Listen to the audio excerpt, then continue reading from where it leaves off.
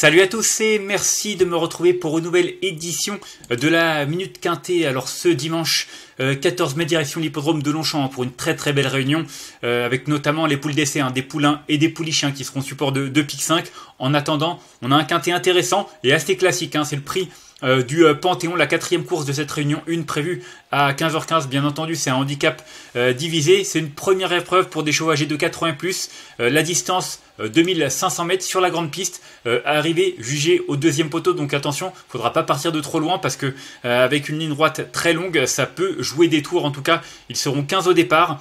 Et euh, c'est vrai que dans cette compétition, euh, il y a des 4 ans de qualité. Et j'avoue que j'ai pas hésité à leur faire confiance face à leurs aînés, à commencer par le Las Abondant, euh, qui vient de très bien faire dans l'une des courses références. C'était justement euh, sur l'hippodrome de Longchamp, hein, le prix de la comédie française. Et c'est vrai qu'il courait de, de belle manière après avoir été pénalisé. C'est vrai qu'il avait fait une rentrée victorieuse euh, dans un handicap euh, sur l'hippodrome de Saint-Cloud, hein, comme vous le voyez, le 28 mars. Et il battait d'ailleurs d'autres concurrents de 4 ans. Et derrière, bah, il a confirmé face à ses aînés et avec le poids en plus. sa tentative est très prometteuse. Je pense qu'il a encore de la marge. c'est le plus gros poids, mais à mon avis, il a encore suffisamment de qualité pour pouvoir remporter un autre handicap. Et ce quintet, pour moi, est vraiment à sa portée.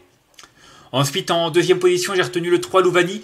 Bah, Louvani, il est un petit peu déçu hein, dans la course référence. Seulement 7 vous le voyez, il était favori. En tout cas, il était à 5,80€. Il était très en vue. Maintenant, euh, c'était ses premiers pas euh, dans ce type de compétition. Il faisait une rentrée. Ça fait deux choses contre lui. Euh, sa tentative est loin d'être mauvaise. Je pense que sa septième place est meilleure qu'il n'y paraît. À mon avis, ça lui a fait le plus grand bien. Je crois même qu'il a été pénalisé. Il a été, baissé d'une livre hein, suite à cette sortie. si je ne me trompe pas, il était en 40, il est en 39,5. Et euh, voilà, je pense que 2500 mètres, ça va être en plein dans ses cordes. Le terrain ne va pas le déranger. Et euh, franchement, je pense qu'il est capable de redorer son blason et de remettre les pendules à l'heure. Et pourquoi pas même euh, de remporter ce quintet. Faudra que ça se passe bien. Mais je pense qu'il en est capable. En tout cas, il en a un dans les jambes.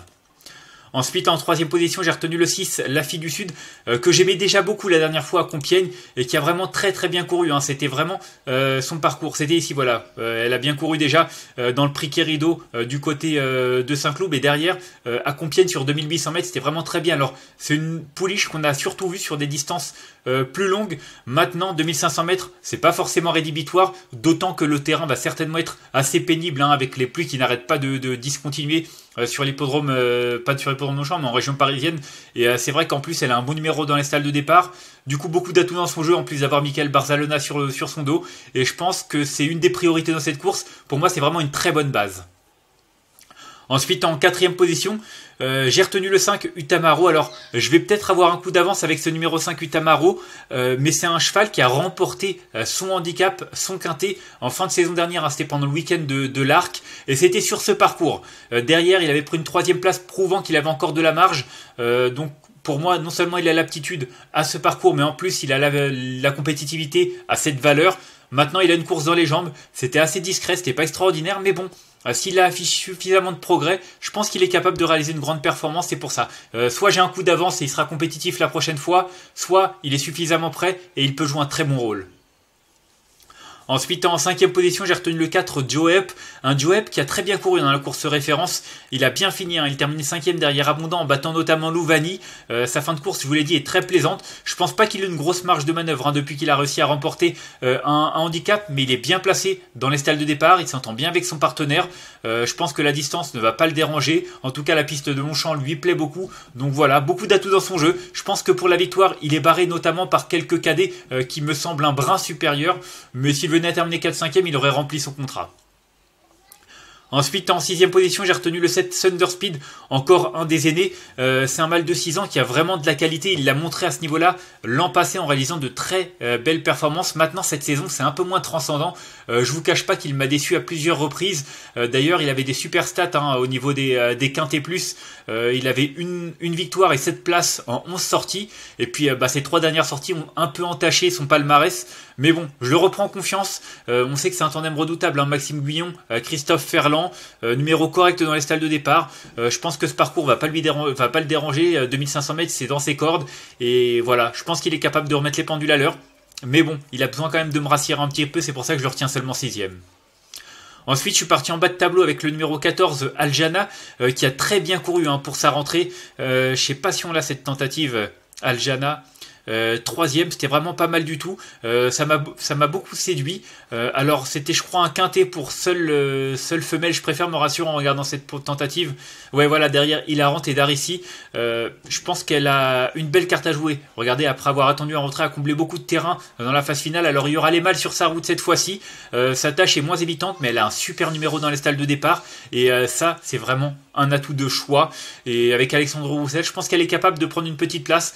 Euh, pas forcément mieux vu l'opposition, mais euh, s'il y a un autre quintet pour femelle et qu'elle est encore euh, à ce poids-là, je pense qu'elle va pouvoir le remporter. Mais là, je la vois plus pour une petite place. Et enfin, en huitième position, j'ai retenu le 12, Flatten the Curve, un cheval qui a enfin trouvé son jour euh, dans un handicap. Maintenant, il a été pénalisé, il a le numéro 15 dans les stalles de départ. C'est vrai qu'il avait rivalisé avec Abondant euh, lors d'une de ses sorties le 28 mars. Maintenant, non seulement euh, bon, Abondant a été pénalisé, mais lui aussi, du coup, je pense qu'au niveau de l'écart de poids, ça va être dur de prendre sa revanche. Mais bon, c'est un cheval régulier, on connaît pas trop ses limites, et voilà, il continue de progresser maintenant avec ce numéro 15 dans les stalles de départ. Je lui ai accordé vraiment un petit crédit pour une cinquième place, mais voilà, c'est mon huitième choix. Et en cas de non partant, j'ai retenu le 11 euh, Centurin, un Centurin qui n'a pas été revu depuis deux mois, mais qui reste euh, sur une deuxième place dans un quintet sur PSF. Euh, il a fait ses preuves également sur des pistes en gazon, donc c'est pas forcément un problème. J'ai peur que l'absence de deux mois lui soit préjudiciable, c'est pour ça que c'est un regret. Mais bon, ceux qui font des champs réduits, n'hésitez pas à le glisser dans vos sélections. On va faire justement un petit point sur ma sélection avec l'As abondant devant le numéro 3 Louvani.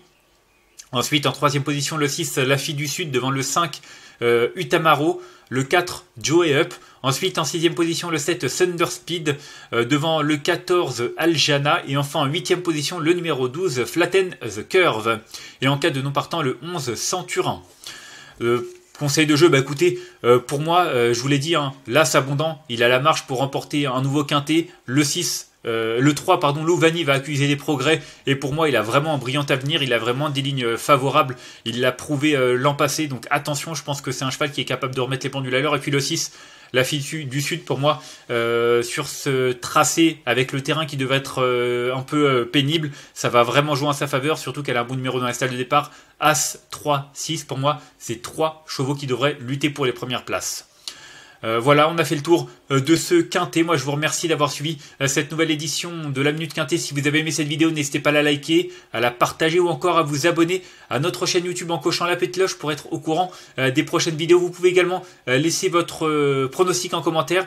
Il y a un tirage au sort parmi tous les commentaires chaque mois avec à gagner 6 mois d'abonnement VIP au site turf-fr.com. Moi, je vous donne rendez-vous demain. On commencera la semaine avec les trotteurs sur l'hippodrome de Vichy euh, ce lundi. En attendant, je vous souhaite de bons jeux à tous et une bonne journée. Bye bye.